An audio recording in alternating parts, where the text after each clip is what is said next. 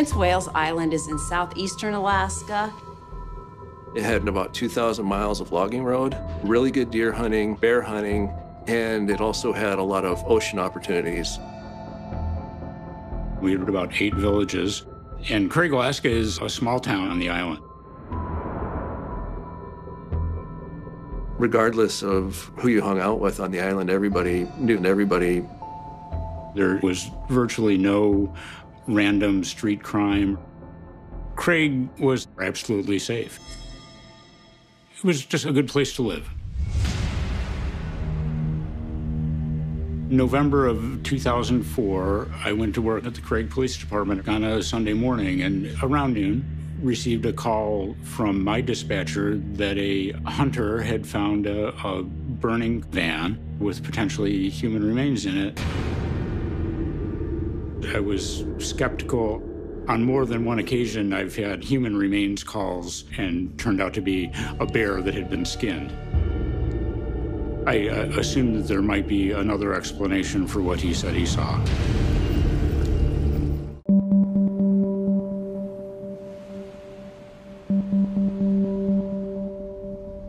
On the early morning hours of November 14th, there was human remains found in a fire in a minivan.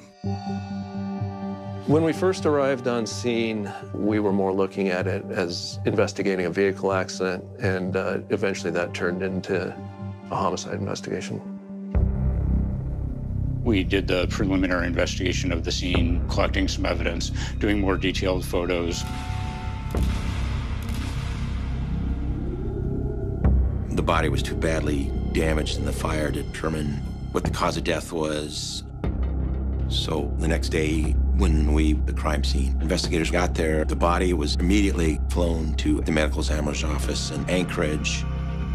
We still had evidence I had to go through in the vehicle, but it started snowing, and it started snowing pretty good. And enough where we didn't want to be stuck up on the side of a mountain during a snowstorm. So we took the car on a flatbed tow truck and brought it down the road to a state of Alaska garage where we could investigate more clearly. Early on in the search of the house, I saw a letter from Lori Waterman to Rachelle, basically an apology and a desire to have a better relationship. At that point of the investigation, I didn't know enough to consider that an important piece of evidence. I thought it was more important for the family to have that as a remembrance of Lori. Lori and Rachelle were fighting over Rachelle's dating Jason. There was it was causing a lot of tension in, in the family. Lori was just trying to, you know, rein in a rebellious teen, and she was just being a good mom. Is all she was doing. Rachelle obviously didn't like her mother disciplining her and telling her who she can date and what she can do. Uh, and you know, this is all pretty normal stuff for teens, but this just went totally out of control and ended up where it did. The letter was very loving and caring, and it was obvious how much Lori loved Rachelle. Rachelle kept the letter. Obviously, the relationship was not so broken that it couldn't be mended. Blogs were just kind of at their beginning in 2004. And teenagers around the world were pouring out their feelings, their thoughts to anyone who would read their blog. And Rachelle had a blog called My Crappy Life. And she referred to Craig, Alaska as Hell, Alaska. Doc and Lori's house was a house straight out of a 1950s sitcom. And the nature of a teenager is to rebel against that. Rachelle accused her mother of all kinds of physical abuse and verbal abuse. She said her mother told her constantly she was too fat, and she refused to let her eat. She hid food from her. You get mad at your mom, and all of a sudden she pushed me down the stairs. Well, really? Well, did you go to the hospital? No. She hit me with a baseball bat. Really? I mean, I, have been hit with a baseball bat. It hurts. Did you did you go to the hospital? Did you you have a big bruise? Well, no. And we investigated these things, and there was nothing there. It was like fantasy stuff that had no basis in reality, according to anyone that knew her. Nobody believed them except for Jason Arrant and Brian Riddell.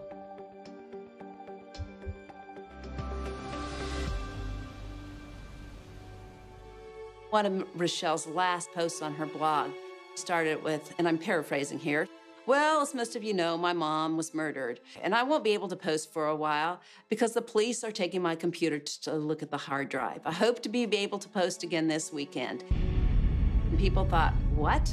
It sounded like the only inconvenience with her mother dying was she was not going to be able to post for a few days on her blogs. People at Craig began to think at that point maybe Rachelle was involved in the murder of her mother.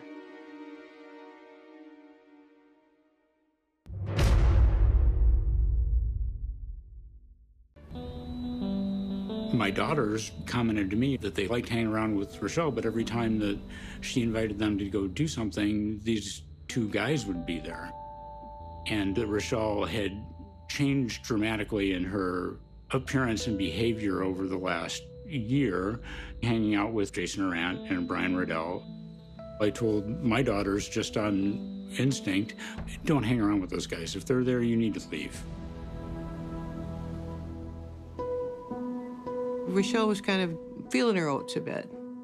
She started hanging out with those creepy men, and you could tell Lori wasn't real happy. They made her mother mad when she hung out with them, and it's not unusual for teenagers to fight with their mothers. Even in the heat of the moment, it's not unusual for a teenager to say, I hate you, or I wish you were dead. As a parent, my reaction would be the same thing as Lori was. He's way too old for you. You're better than that. You know, you're moving on with your life. You're going bigger, better places.